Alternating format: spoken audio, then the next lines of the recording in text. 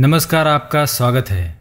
शनिदेव, जो न्याय के देवता है, वे समस्त सृष्टि के चराचरों को उनके कर्मों के अनुसार फल प्रदान करते हैं। शनि सूर्य देव तथा माता छाया के पुत्र है। नव ग्रहों में शनि ही एक ऐसा ग्रह है, जिसे सबसे क्रूर और उग्र माना गया है। हिंदू धर्म में शनिवार शनि देव को समर्पित होता है। इसी कारण प्राचीन काल से ही ऋषि मुनि शनिवार के दिन शनिदेव की पूजा आराधना करते आ रहे हैं। शनि की साढ़े साथी अथवा शनि की ढैया का नाम सुनते ही भले भले जातकों पर भी प्रतिकूल मनोवैज्ञानिक प्रभाव पड़ता है, लेकिन जिस प्रकार शनिदेव दुष्टों को दंड देते हैं, उसी प्रकार शनि ईमानदार लोगों के लिए यश, धन, पद और सम्मान देने वाले हैं। शनि संतुलन एवं न्याय के देवता है। शनि धर्म, अर्थ, कर्म और न्याय का प्रतीक है।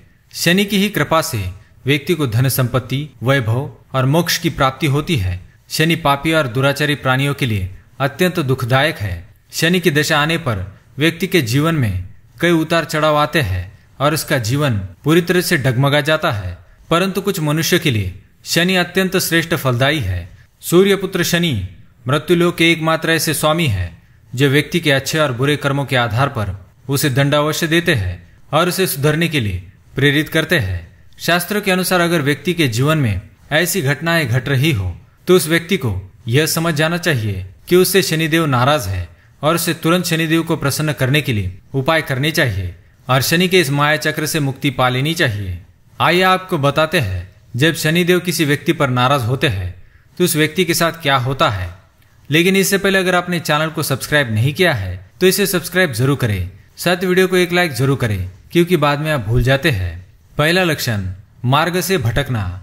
जैसे कहा गया है यशमय देवा प्रयच्छन्ति।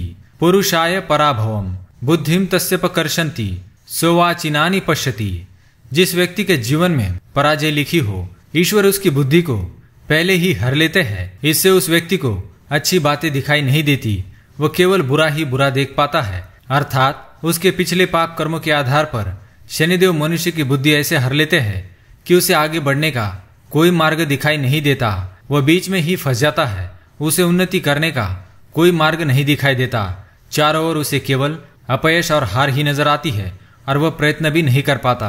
दूसरी बात, कर्ज का बढ़ना। शनि जिन व्यक्तियों पर नाराज़ होते हैं, ऐसे व्यक्ति कर्ज के बोझ के तले दबे रहते हैं। आवश्यकता ना होने पर भी बेकार की चीज़ें खरीदने के लिए और बेकार के कामों के लिए पैसे लेते हैं और बर्बाद हो जाते हैं। कर्ज का भार बढ़ जाता है और उसे चुका नहीं पाते। जीवन में कभी किसी की मदद ना करने के कारण ही व्यक्ति को ऐसी सजा मिलती है। हमेशा स्वार्थ करने पर व्यक्ति के जीवन में ये दशा आती है। तीसरी बात, व्यसनों से घिर जाना। अगर व्यक्ति व्यसनों से घिरा है, अर्थात नशीली चीज़ों का सेवन करने लगता है, अचानक किसी बुरी आदत को अपना लेता है यह उसके पाप कर्मों का ही फल होता है।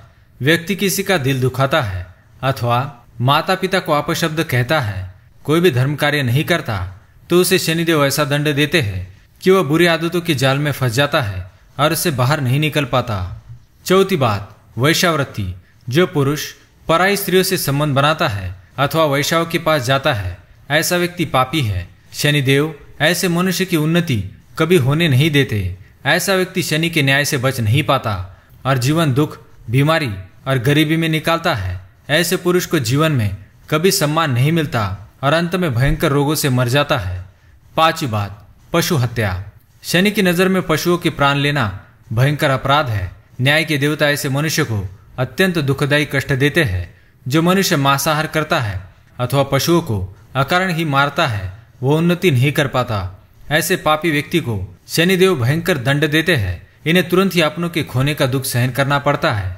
छठी बात, भयंकर बीमारी से ग्रासित होना। जो व्यक्ति दूसरों के धन पर अपना हक दिखाता है, दूसरों को मूर्ख बनाकर धन कमाता है, ऐसा व्यक्ति भयंकर बीमारियों से घिर जाता है। शनिदेव ऐसे व्यक्ति को कभी क्षमा नहीं करते, जो दूसरों का फ़ायदा उठाकर उनका धन लूट लेता है।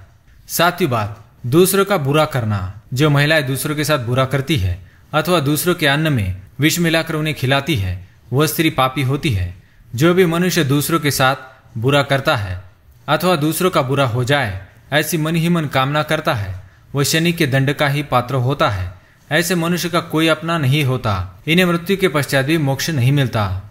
तो दोस्तों, ये थी वो बातें जिनसे समझ में आता है कि उस व्यक्ति से शनिदेव नाराज़ है। शनि के दंड से बचने के लिए ये कार्य ना करे और शनिवार को शनि मंदिर में जाकर शनि पर तेल चढ़ाकर भूखे और गरीब लोगों को दान करे। इससे शनि की कृपा बनी रहती है और व्यक्ति पाप कर्मों से मुक्त होता है। अगर आप भी शनिदेव को मानते हैं तो कमेंट में जय शनिदेव अवश्य लिखे। ये जानकारी आपको पसंद आई तो वीडियो को लाइक करें, कमेंट करें और शेयर करें। धन्यवाद।